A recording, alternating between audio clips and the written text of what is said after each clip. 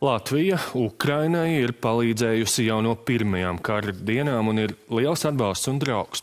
Tā šodien tiekoties ar valsts prezidentu Edgaru Rinkēviču, Kīvā sacīja Ukrainas prezidents Valdimirs Zelenskis. Abi prezidenti pārunāja situāciju kaujas laukā un Ukrainai nepieciešamo palīdzību. Kīvā pat labi atrodas arī mūsu filmēšanas grupa Ina Strasdeņa un Ingus Graudiņš, ar kuriem esam sazinājušies tiešraidē. Ina sveicināta Latvijas un Ukrainas prezidenta tikšanās ir noslēgusies. Saki, kas mums ir zināms, kas tad tika pārunāts šajās sarunās un kādi bija galvenie vēstījumi pēc šīm sarunām? Jā, labvakar, kolēģi, labvakar, skatītāji. Nu, diena šī tikšanās ir beigusies, bet jāteic, ka uh, prezidents Edgars Rinkēvičs Kijevā kā prezidents ar uh, Valdimiru Zelenski tikās pirmo reizi, bet būtībā te, šī bija tāda kā atkal redzēšanās, jo uh, viņš šeit ir bijis kā ārlietu ministrs un, starp citu, arī tajā agrajā rītā, kad Ukrainā sākās karš, un arī pēc tam jau vēlāk tādā ilgākā vizītē, un tāpēc abiem tiešām bija daudz ko pār pārunāt, bet vizīte šeit Kijevā sākās ļoti tradicionāli ar ziedu nolikšanu pie varoņu sienas, godinot tos, kuri krituši par Ukrainas brīvību, un pēc tam jau tālāk prezidents devās uh, uz uh, Ukrainas prezidenta pili, kur pagāmā viņu sagaidīja Vladimirs Zelenskis, uh, sveiciens un arī, protams, sasveicināšanās ar visu komandu. To, ka Latvija ļoti palīdz Ukrainai gan valdības līmenī, gan visaugstākajā politikā, politiskajā līmenī, gan uh, katrs cilvēks šeit Latvijā domā par Ukrainu un arī ļoti daudz palīdz. Un, protams, to šeit Ukrainā ļoti labi zina, saprot un arī tas tika pieminēts gan divpusējās sarunās, gan arī vēlāk kopīgā preses konferencē. Un to uzsvēra arī uh, Ukrainas prezidents Volodimirs Zelenskis. Paklausīsimies. Латвія допомагає нам, українцям, допомагає Україні.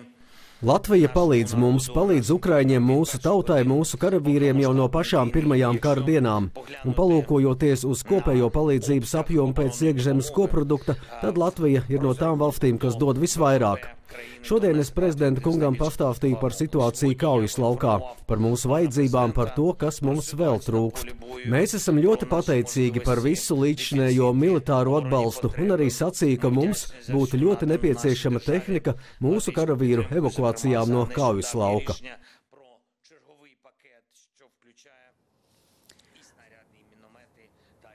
Un, protams, jā, šīs vajadzības primārās uh, Eh, finansiāla eh, palīdzība un eh, militāra palīdzība, lai Ukraina tiešām varētu uzvarēt šo karu, bet, protams, arī vēl daudz cits, jo tuvojas ziema un te jau, protams, arī saprot, ka Krievija centīsies mērķēt pa Ukrainas energoapgādes uzņēmumiem, tāpēc atkal šajā ziņā būs vajadzīga palīdzība ģeneratori, un to arī uh, prezidents Zelenskis uzsvēra preses konferencē, bet savukārt mūsu prezidents Edgars Rikevičs sacīja, ka Latvija Ukrainai palīdzēs tik ilgi, cik vien būs nepieciešams. Paskatīsimies! Uh, support, support Mūsu politiskais, ekonomiskais, finansiālais, kā arī militārais atbalsts Ukrainai ir nelokāms. Mēs apspriedām, kā turpināt militāro atbalstu.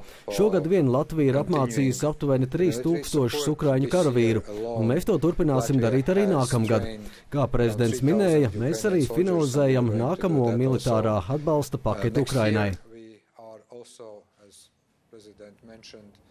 Uh, Tātad palīdzība turpināsies, bet, protams, pasaulē arī daudz citi konflikti, un mums arī šeit zināmais tuvo austrumu konflikts, un, protams, tas arī atbalstojas šeit Ukrainā, un mums bija iespēja pavaicāt Ukrainas prezidentam, vai viņš izjūt to, ka šī konflikta dēļ uh, Ukrainai palīdzība mazinās vai kaut kādā veidā tiek ietekmēta, tāpēc, ka rietumu pasauli uh, ir iesaistīta arī tur, un lūk, ko viņš atbildēja відволікає, напевно, це буде некоректно, тому що там ietekmē palīdzību varbūt nebūtu precīzi teikts, jo arī tur ir ļoti liela traģēdija un ir vajadzīgs atbalsts. Taču tas, ka daļai par Ukrainu aizmirst, ir taisnība.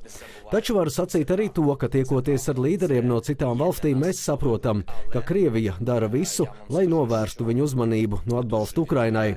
Un mūsu uzdevums ir darīt visu, runāt publiski, lai par sevi nemitīgi atgādinātu.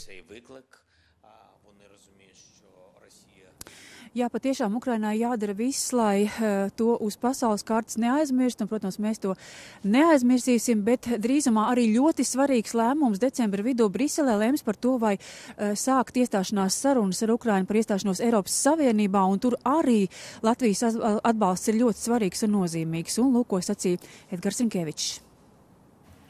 Number one. It's Pirmkārt, tas ir spēcīgs, nepārtraukts politiskais atbalsts Ukrainai, Eiropas Savienības padomē, visās Eiropas sanāksmēs, kur mēs apspriežam vai nu iestāšanās procesu, vai, kā prezidents tikko minēja, 50 miljārdu eiro makrofinanciālās palīdzības atbloķēšanu.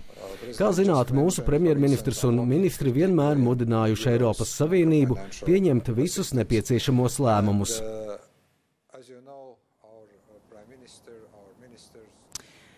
Un kā ir iespējams šos divus kara gadus izturēt? Tas arī ir jautājums, ko mēs vaicājām prezidentam Zelenskim. Izturēt gan viņam, gan Ukrainas tautai, un viņš sacīja domas par uzvaru. Uzvara, pārliecība, ka tā būs, tas ir dzinējspēks Ukrainā šeit visiem. Un jāteic, ka arī rīta augst līmeņa vizīte šeit Ukrainā turpināsies, jo šeit notiek arī uh, starptautisks samits par pārtikas uh, drošību, kas arī ir ļoti svarīgs temats Ukrainai. Kā mēs zinām, Krievija ir bloķējusi Ukrainas ostas ostas tā nespēja izvest graudus, no tā cieši arī daudz pasaules valsts. Tā kā turpinām sekot notikumiem Ukrainā, un atpakaļ pie jums, kolēģi, studijā.